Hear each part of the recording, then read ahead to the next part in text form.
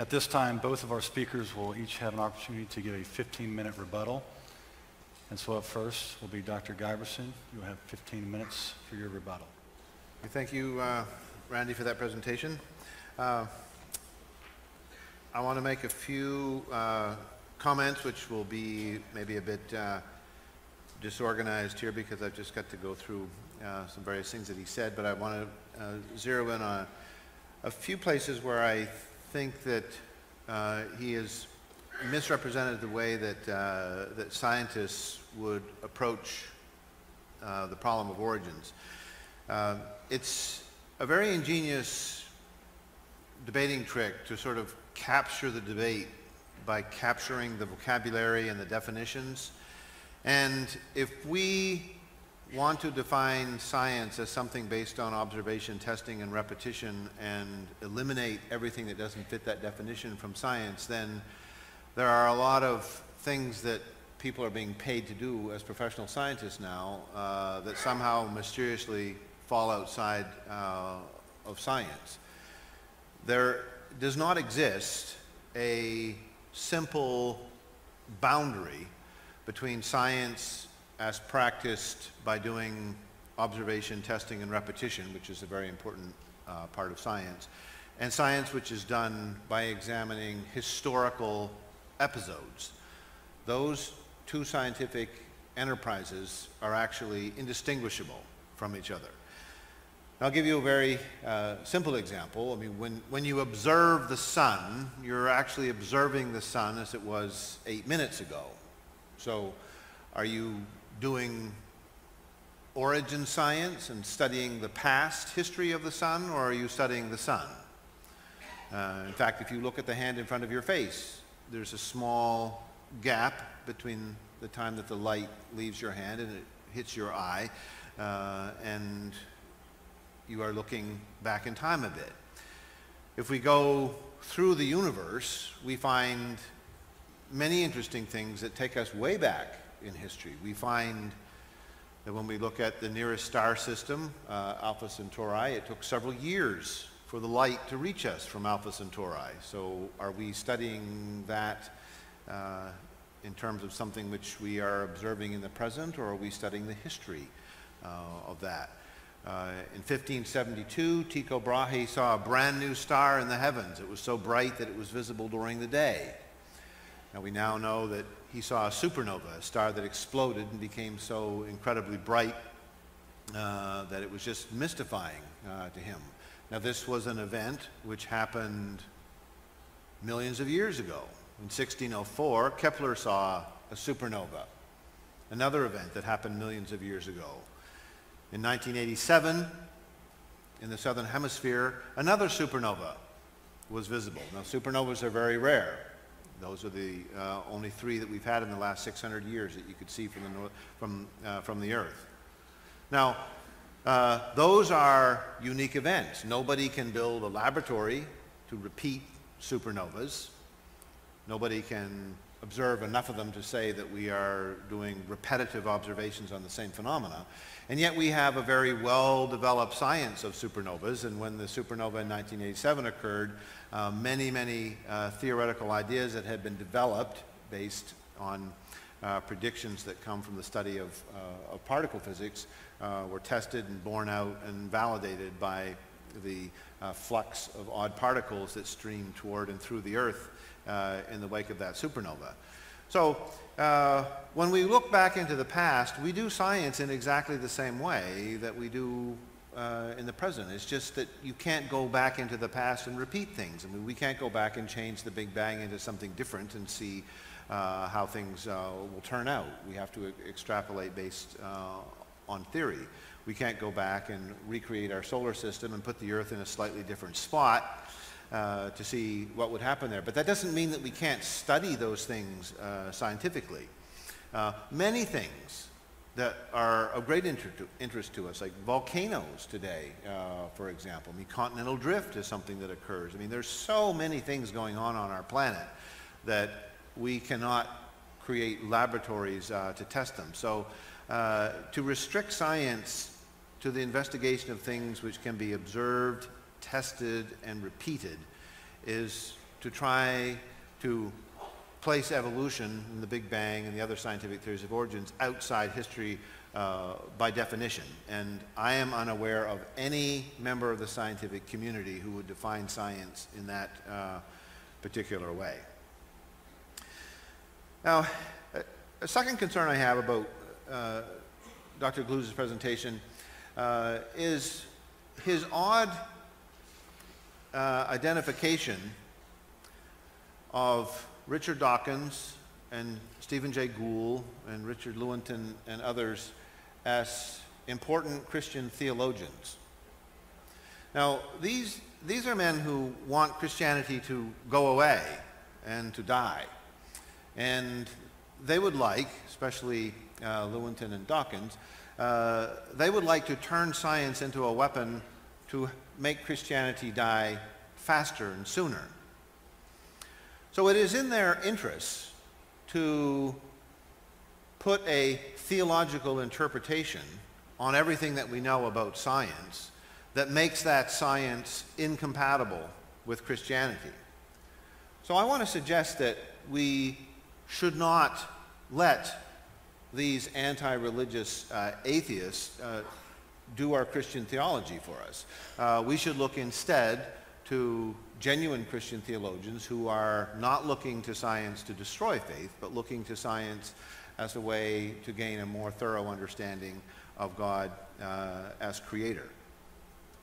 In uh, my book, Oracles of Science, uh, my co-author and I looked at this tendency of leading culture warriors in the uh, battle for atheism uh, and how they like to sort of fashion science into a philosophical weapon to be used against uh, belief in God and against uh, Christianity in particular. And uh, in all cases, they extrapolate recklessly beyond what the scientific data can support.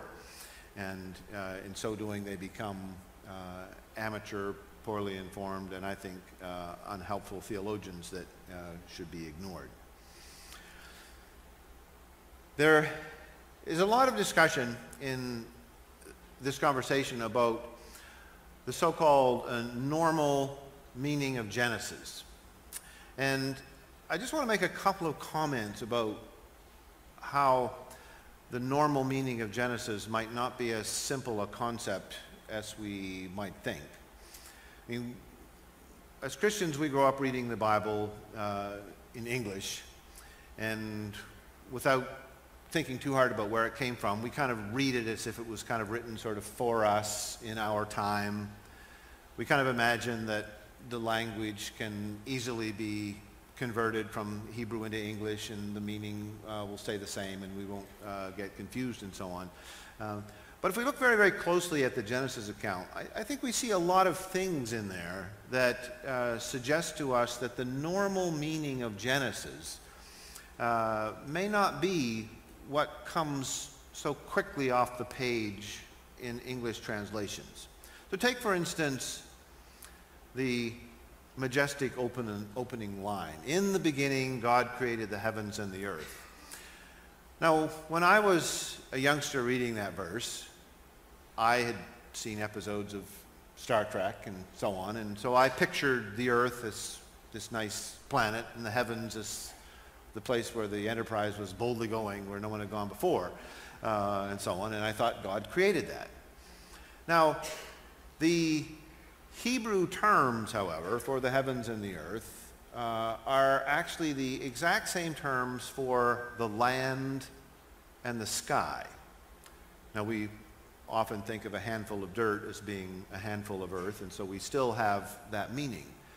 But there is no way that the opening verse in Genesis can possibly be referring to a planet.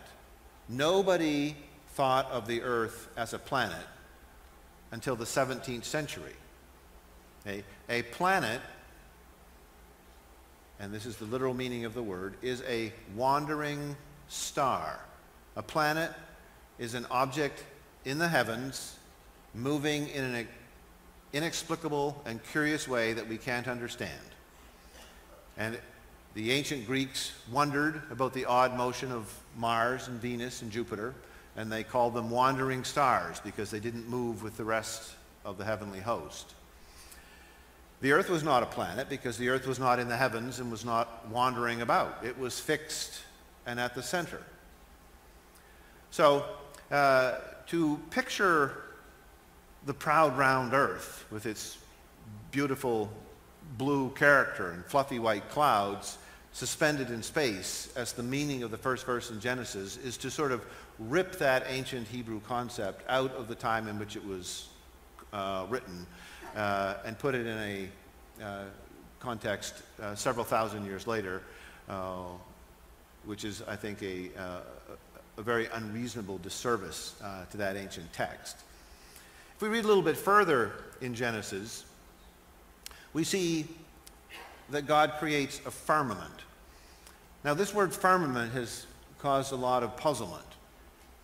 Now, it turns out that the word that's translated as firmament uh, actually means literally a bowl or a dome.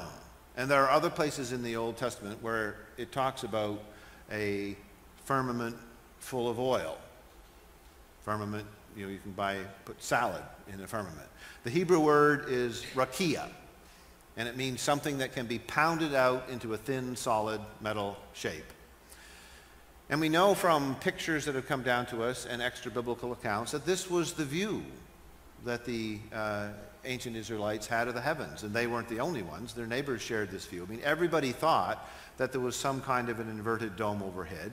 And if you go to a planetarium, I had my students in the planetarium in Boston just a week ago, you can see that if you put a dome over your head and you shine lights on it, it looks exactly like the night sky. So there's a very ordinary, everyday observational language being used there that God has placed lights on this dome in the heavens uh, and that's what we see when we look up uh, at night. There are additional clues in the Hebrew meaning of the starring characters in this story, Adam and Eve. I mean, we know people that have these names today, so we just think of them as regular, ordinary names. But, uh, I mean, the Hebrew word uh, for Adam is just man. God created man. It's a completely generic term. No one would have been called Adam then. And Eve is, means the mother of all living, right? So there, there are suggestions here uh, that this is, is a much different kind of story than something which we might get from the normal reading.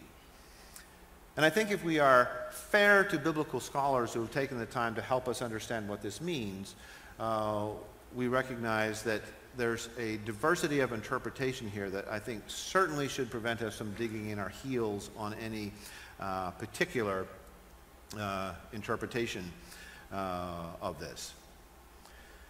Now, uh, I want to suggest that a much better approach to this, rather than suggesting that we must choose between God's truth or man's word, is to use a metaphor that the Christian tradition has used for a thousand years, even longer perhaps, and that is the idea of the two books. God has given us the book of Scripture, and God has given us the book of nature. Now, those have been understood by Christians going back to Thomas Aquinas and earlier as two distinct and separate revelations, both provided by the same Creator, and both that can be brought into harmony with each other. Now, when they're not in harmony, we have work to do. And perhaps the most uh, celebrated historical episode was the one that challenged Galileo, when Galileo had to deal with the fact that it says in Psalm 93 that the earth is fixed and it cannot be moved. The earth is fixed and it cannot be moved. And Galileo was trying to convince people that the earth was not fixed and it did move. And so a question arose as how we bring these two books together. Well, we cannot bring them together by subordinating one book to the other. We have to keep them in conversation with each other, aware that they both have the same author, and seek humbly, prayerfully, and in communion with each other the very best understanding of both of those books so that we can better understand uh, our Creator. Thank you.